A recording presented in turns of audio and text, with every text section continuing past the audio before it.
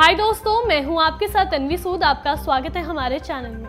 जहाँ देश में इन दिनों अयोध्या फैसले का आम लोगों से लेकर बॉलीवुड सेलेब्स तक खुलकर स्वागत कर रहे हैं। तो वहीं बीते दिनों भारत और पाकिस्तान के लोग एक साथ जश्न मनाते हुए नज़र आए। दरअसल ये जश्न पाकिस्तान के ऐतिहासिक करतारपुर कॉरिडोर को लेकर थी। जैसे कि आप जानते हैं कि बीते दिनों करतारपुर कॉरिडोर का इनोग्रेशन इवेंट था, जहाँ भारत के पूर्व प्रधानमंत्री मनमोहन सिंह पूर्व क्रिकेटर नवजोत सिंह सिद्धू और अभिनेता से नेता बने सनी देओल भी मौजूद रहे। इस दौरान भारत और पाकिस्तान के लोगों को इस खास मौके पर एक साथ जश्न मनाते हुए देखा गया। उस इवेंट में सनी देओल ने पाक पीएम इमरान खान से भी मुलाकात की। वहीं पाकिस्तान से लौटने के बाद चलिए बताते हैं आपको खुद सनी देओल का पाक के लिए क्या कहना है। एक इंटरव्यू के दौरान सनी देओल ने बताया।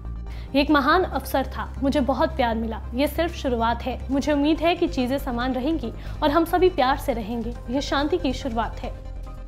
बता दें कि पाकिस्तान की तारीफ़ करते हुए उनका ये वीडियो काफ़ी वायरल हो रहा है। वहीं करतारपुर के इनोग्रेशन इवेंट में जाने और पीएम इमरान खान का भाषण सुनने के लिए पाकिस्तान आने पर सनी देओल को लेकर लगातार मीम्स बन रहे हैं।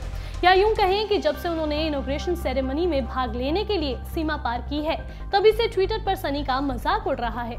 उनकी पाकिस्तान यात्रा पर टिप्पणी करने के लिए लोग ट्विटर पर आ गए हैं और उनके इस सफ़र की तुलना उनकी कुछ देशभक्ति फ़िल्मों से कर रहे हैं। एक यूज़र ने मीम बनाते हुए लिखा सनी डियोल ने पाकिस्तान के खिलाफ जितनी भी फ़िल्में की, उनकी गिनती कर रहे हैं।